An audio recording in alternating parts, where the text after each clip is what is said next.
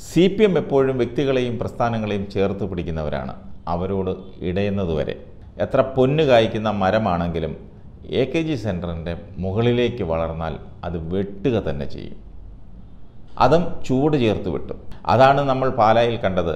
ബിനു പുളിക്കണ്ടലത്തിന്റെ കാര്യത്തിൽ.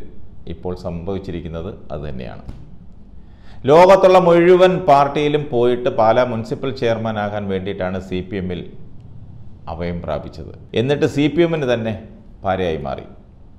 C P എമ്മിന് ഒരു തുടർഭരണം സാധ്യമാക്കി കൊടുത്ത മാണി ഗ്രൂപ്പിനെ തോണ്ടാനും മാന്താനുമാണ് ബിനു പുളിക്കണ്ടത്തലിന് എപ്പോഴും താല്പര്യം. എന്താ ചെയ്യുക വിനാശകാലേ വിപരീത ബുദ്ധി. പണ്ടുള്ളവർ പറയുന്നത് വളരെ കറക്റ്റാണ് പല പ്രാവശ്യം പല വഴിക്ക് അവർ താക്കീത് കൊടുത്തു ആരാ സി പി എം. എന്തിനാ അമ്മാവ എന്നെ തല്ലുന്നത്? ഞാൻ നന്നാവൂല എന്നാണ് പറയുന്നത് പോലെ ആ ബിനുവിന്റെ ശൈലി. എന്ത് തോന്നിവാസം കാണിച്ചാലും അത് ഫ്ലെക്സ് വെച്ച് നാലാളെ കാണിക്കുന്നതിൽ പുള്ളിക്ക് ഒരു നാണക്കേടുമില്ല. ഇതിനാണ് പറയുന്നത് നാണം കെട്ടവന്റെ ആസനത്തിൽ ആലുകളിർത്താൽ അതും അവനൊരു തണലാണെന്ന്. ജോസ് മണി അനാഥനാണെന്നായിരുന്നു ഇയാളുടെ വിചാരം.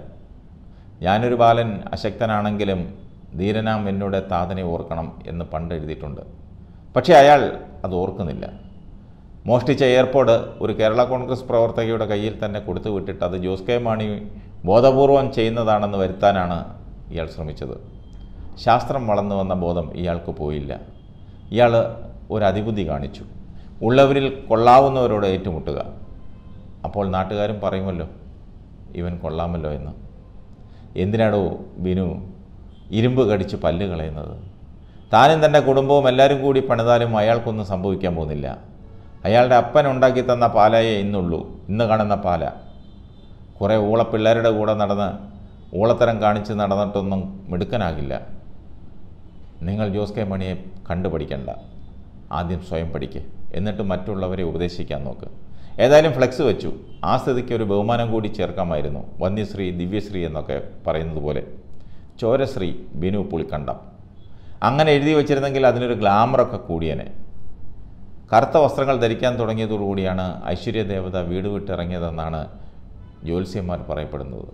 ജ്യോത്സ്യം കറുത്ത വസ്ത്രങ്ങൾ ഉപേക്ഷിക്കണം എന്ന് പറഞ്ഞതിൽ കാര്യമില്ലാതെയില്ല. അതും പ്രകാരമാണ് കറുത്ത ഷർട്ട് ഊരിക്കളഞ്ഞത്. വസ്ത്രങ്ങൾ എന്നത് ബഹുവചനമായതുകൊണ്ട് കറുത്ത അടിവസ്ത്രം കൂടി ഊരിക്കളഞ്ഞാലേ ജ്യോത്സ്യവിധി പൂർത്തിയാകൂ. എയർപോർട്ട് മോഷണം അത് വേണ്ടായിരുന്നു.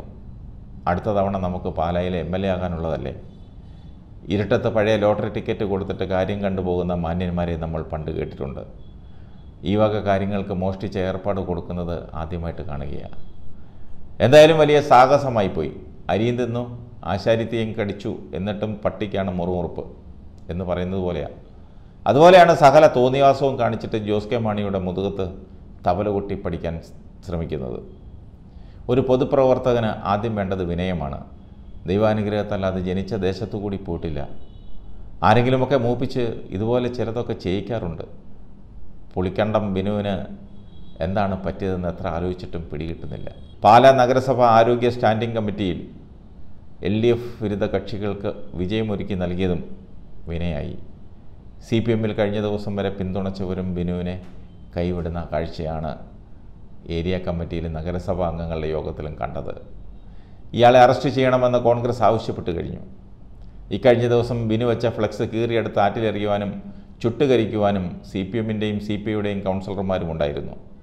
പോരാത്തതിന് എന്നും സഹായിയായി നിന്ന പഴയ ജിംഖാനയായ നമ്മുടെ മുനിസിപ്പൽ ചെയർമാനും.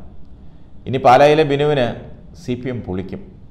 ഏതായാലും ഈ മുതലിനെ കോൺഗ്രസിനും ബി ജെ പിക്കും വേണ്ട. അവരെടുക്കില്ല. എടുക്ക ചിരക്ക. നിരാശപ്പെടേണ്ട ബിനു നമുക്ക് പാർക്കാൻ മുസ്ലിം ലീഗ് ഉണ്ട്.